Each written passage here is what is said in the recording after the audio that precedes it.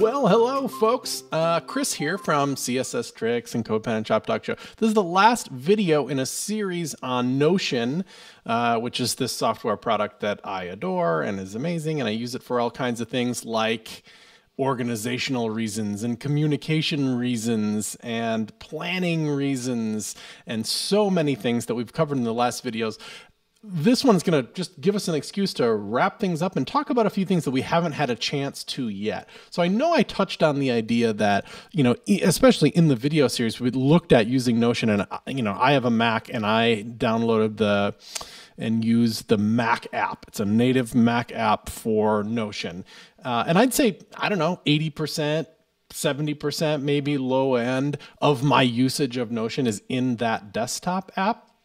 And I like that. I'm just a desktop app kind of guy. As much as I am a web guy, and I love that Notion is kind of a, it feels like a web app first in a way. And I'd say anecdotally, by the way, that most people I know use um, Notion through the website only and it's just a hundred percent feature parity between those two things. I don't know if it's a web wrapper or whatever you want to call it, Electron app. I don't even know what it is under the scenes. It doesn't matter. The only reason I like the native app is just oh, it's the it's an icon in my dock, and I uh, I just kind of like it that way. I can kind of like close it and open it in a in a I don't know sandboxed way. It feels like, but the web app, you know, I use too, and I'm not know, for example, not on my main machine or uh, for any other reason. Sometimes I'll just switch back back and forth just for fun. So there's the the web app means also that like if your Linux people on your team want to use Notion, they can. There's doesn't happen to be a native client for Linux, but whatever. They use it uh, through the web. I expect they're used to that but there is a native windows app. And then on the mobile scene there are native apps for ios and android too. And um, I would say that I wouldn't be as big of a fan of Notion. I maybe wouldn't have pulled the trigger on doing all the stuff in Notion that I do if it wasn't for the mobile app you know? This again is a it seems to me 100% feature parity between them there's nothing i can do in any of the ways i use notion that i can't do otherwise. And it's nice to know that this mobile experience on notion is just first class you know and uh, that's kind of why i will get into any particular organizational app like this. I need to have access on my phone. Even though it's 30%, 20% of my usage, I need to know that on the go I have access to all of it in the in the same kind of way. Notes is just I need it and I'm so glad that Notion knocks it out of the park that way. Look, I even have the notes for this very video in my iOS app here. So, love that. So, I don't know, it's just important to know that it's everywhere.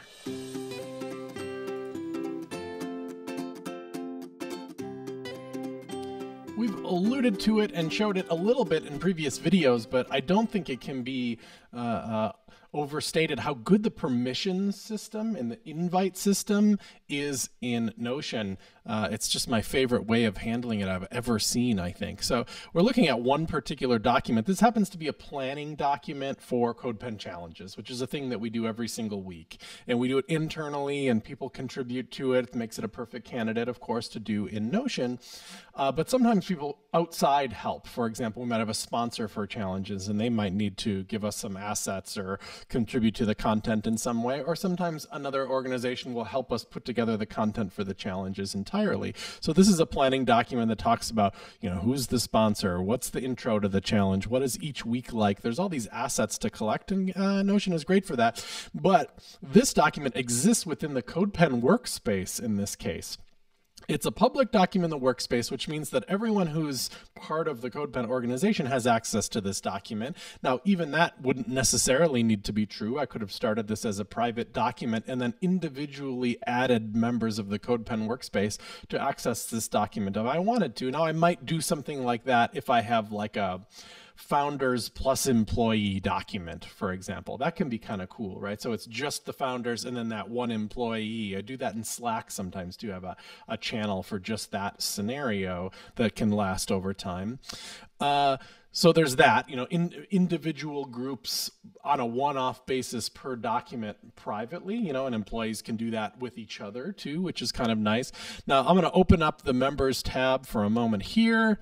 Uh, here's all of our members, and there's this concept called groups. I'm not actively using it right now, but I like that this exists. I can imagine in workspaces that are a little bit bigger than ours that this would be really useful. For example, if there's a design team, I could make that a group and then add members uh, to that team. And then uh, it basically gives me easy access to share documents just amongst that group which is nice. You know, maybe there's a design home and everybody doesn't need to see that, or on purpose, we're not giving them access to that because we just stay out of here. These are our, you know, in progress documents or a place for one particular team to talk to each other. They could have a home based document and then share that within the team. So the sharing happens on an individual document level. And you know how nested um, Notion can get. That's an important concept too, that any document can have its own sharing settings no matter where it is in the nesting, and then those settings kind of trickle down to it. So if there's sub pages to that document, it inherits those permissions, which is, that's a clutch idea, I think. But I can open the sharing panel of this document and I can see all this stuff. It's tremendously nice and easy to manage. For example, if I want it just totally public to the world, I just click a toggle and then that URL, I can send it to people whether they're logged in or not, whether they even have a Notion account or not, and they'll be able to see that document. We did talk about that. Um, by default, because this document exists in the workspace, it's automatically shared between everybody. So I don't have, I can't control that. It would have to be a private document, and then I can start adding individual people. Now, if this was a private document, let's just do it so that you can see it. If I make a new private document, now only I can see this thing. That's the nature of a private document. And I can invite individual people if I wanted to. If I wanted to just invite my co founder, Alex, I could do that and then any document that this contains he would have access to as well.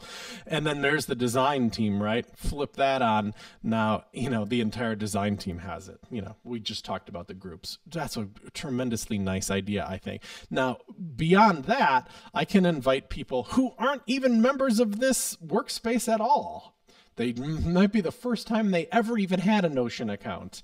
Uh, I can just type in their email and it will invite them. Now they'll have to sign up for Notion. That's free. And by the way, their free plan became really generous in that it's totally unlimited now. That's just a little aside, but I noticed that. Fantastic move. Thanks, Notion.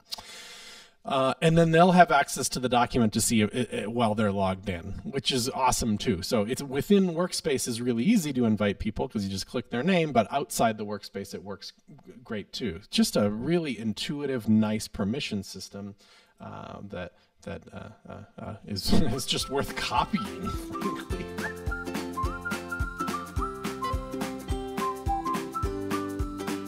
Notion is a smidge opinionated about documents in certain ways, particularly coming from other tools, perhaps something like a Microsoft Word or Google Doc, where yeah, it's a little more loosey goosey what you're able to do uh, with documents. Now, I'm not trying to tell you that Notion is limited. it's not in most ways, but for example, I can't make the font papyrus.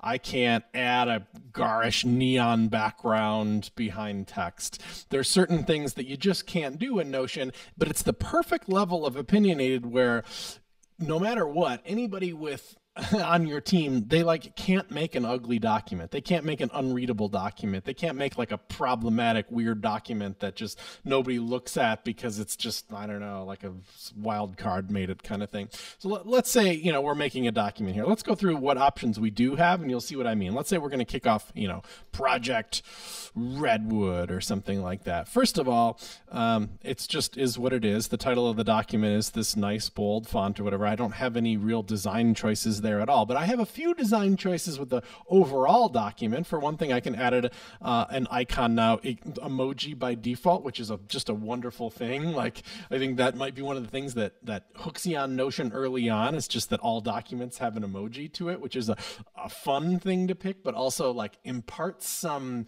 structure and some organization that in a way that just works. That's interesting. So uh, maybe this one has an emoji, maybe it doesn't. You don't have to have one, and an icon doesn't have to be an emoji. You can upload an image as well. Let's say it's your company icon or the uh, you know the logo of a brand you're working with, whatever. It, it can be anything, but the emoji thing is nice. Also, you don't have to have it. Not a problem. Uh, and you can add a header too. Now, how big? You don't have any control over that. The header just is the header. It's a nice image. They have some nice defaults in here. Not too many defaults, mind you, which I feel like was a, uh, a very kind of on purpose thing, you know, not to overwhelm you with choice here. And they're kind of abstract by default too. I don't think they always encourage you to like think very specifically. It's not supposed to be necessarily like a screenshot of the project you're working on or anything like that. Just make the document feel a little more metaphorical and big thinky, you know, which I really like. Uh, and you can move things around too, like oh he's out in outer space. Oh no, it's the Earth, you know. Uh, and the, you, you know you can't count on that too much because the the size of the document kind of affects the the positioning too, depending on the size and placement of the image and all that. Uh, but we can do some Project Redwood. Doesn't that, you know, deserve us searching for now? These beautiful unsplash images. Let's pick out some some presumably redwood uh, trees from Unsplash, and that'll pop in here in a moment. And that gives us like some nice design control. You know, just Unsplash just has really nice images. Gosh, I wonder if the oh there it popped in. Uh, reposition. Can we get the the crux of the images in there? Oh yeah, love that. Um, okay, so this is, you know, without hardly doing any work, the, the document already looks nice. You know, I'd be happy to share this with people. They'd see this. Oh God, he's, you know, everything's aligned nicely. It's a beautiful looking header. It just feels very modern and nice. Um, I can type, um, you know, lorem ipsum, whatever. I'm, and I don't have a lot of control. I, like I said, I can't pick papyrus there, but there's a few things I can do. Uh, I can make it a header. I can make it bigger and smaller. There's just a couple of options that way. It can be a list, and I don't have control over the list bullets or anything like that. It's not a full on website in that way. I can transform them into a numbered list instead. Uh, I could make collapsible sections, which is kind of nice if there's like a bunch of, you know, too much information and any particular document, making these little collapsible sections to reveal it is kind of nice. I put movies and invoices and stuff like that in there. The repetitive things can go in there. Uh, I can also make certain headers, uh, backgrounds, and colors. So if I say, and not just headers, any text, but well, let's do it for headers right here. So we'll say header one and header two. Um, okay, now they're not headers to begin with. We can turn them into headers. Um, oops, I keep losing it. Turn into header 2. Uh, or I could have done it like markdown, which is boop boop header 2. Cool. Now, I have a little bit of control over the color. That's an option here. I could make it a, uh, let's see, a nice orange color for the second one. Let's see if they have a nice green color for the second one. Sure. But notice I don't have every color in the world. There's no color picker. I just get what I get here. And that's a good thing. That's the opinionated stuff that I like here. That these documents have some limitations which encourage creativity, but also kind of let you not ruin them, which I like. I can make these into columns just by dragging. That's kind of nice. It gives me some um, structure here, but not so much structure that I can just wah, do whatever I want and make a gross looking document. If you really are uh, think the font thing is a problem, know that you do have a couple of options here. For one thing, you can turn um, the style into three different styles in a particular document. You can make it monospace, which might be nice for some coding documents. Or uh, I use it occasionally when I want to uh, not necessarily use a table. Um, like a table and Notion, like we covered, but just kind of have things line up a little better because it's monospace. So I could go, you know, XXX and then know that if I space the correct number of things over, I get a little uh, structure just by virtue of it being a monospace font. And then there is a, um, a serif looking one too, which is might be nice for like job postings or public blog posts or something. Um, the, I don't know. It's a bit of a classier look, maybe perhaps more readable to some people. But I swear to God, 99% of my documents I just leave default. I think that's perhaps to me the most readable and the most predictable and most notion feeling of all the of all the styles. So there's that going on. So it's opinionated in some ways. I you know the world isn't my oyster here. I don't have any css control over this page for example. I can't pick anything under the sun to make it happen here but there's there's enough control that i can kind of do whatever i want but nobody can screw it up. And i love that. I love that every document in our entire workspace um, isn't terrible terrible. Like if there's people on the team without a design bone in their body, it doesn't matter. The document's to look fine.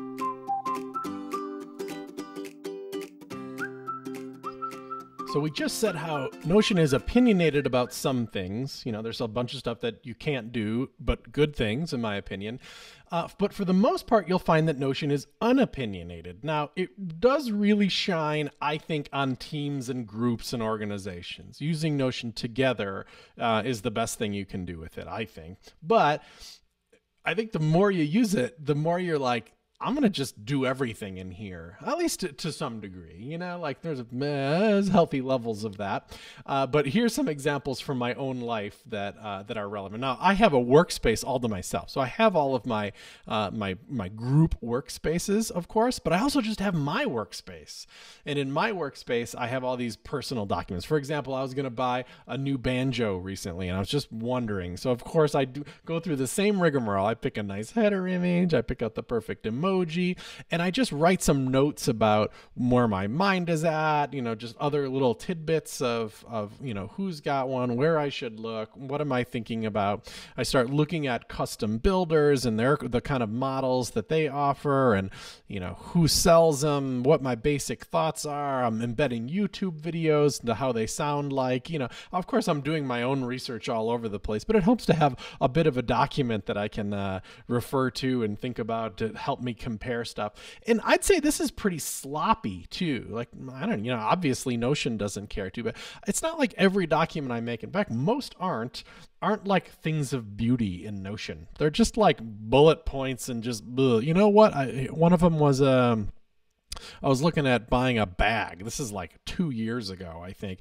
And I just, the, here's this document. This is still useful to me because I never ended up buying one, but I made a list of like six, seven. Look at this last one doesn't even have a bullet point on it. So it's actually seven. This is so sloppy. It's just a loose collection of links. The title of the post is bags and it has a bag emoji on it. and it's still useful to me.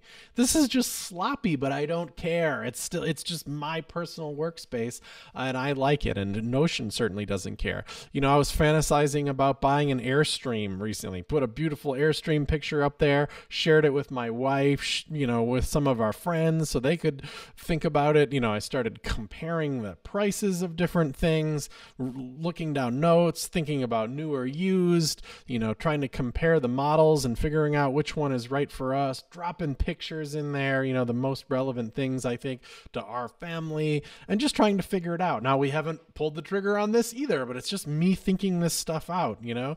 I made a checklist for going camping so that, you know, I can start thinking about do we have this stuff in the house? Like, and we can use this checklist right before we go camping, you know, uh, kind of nice. You know, I was made a, a table to compare the pizza places in our town. I didn't get particularly far, but uh, at least now, sometimes when we're about to order pizza, I'm like, let me just check the list, you know, make sure that we're thinking through all the options here. uh, I track our monthly finances in Notion. Of course, we use, um, you know, more exotic accounting software mostly, but for Scratchpad kind of stuff, figuring out big picture finances stuff i do that in notion all the time you know and i like that that's on my phone too of course and all that.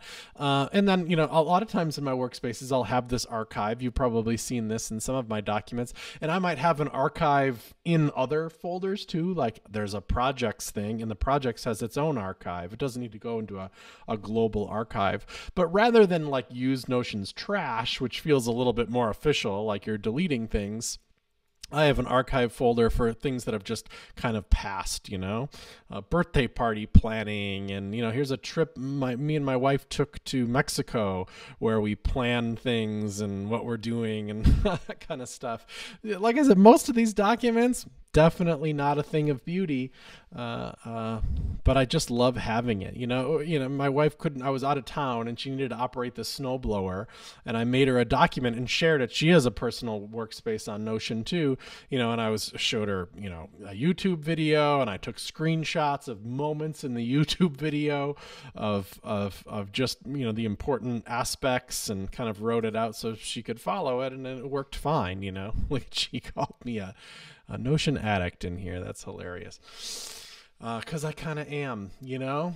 So, anyway, Notion is great for that stuff. Shines with Teams, but shines on a personal level uh, uh, uh, as well. And if you're using it for Teams, you know, you're already in there, you're already in the flow. Using it for both is really clutch.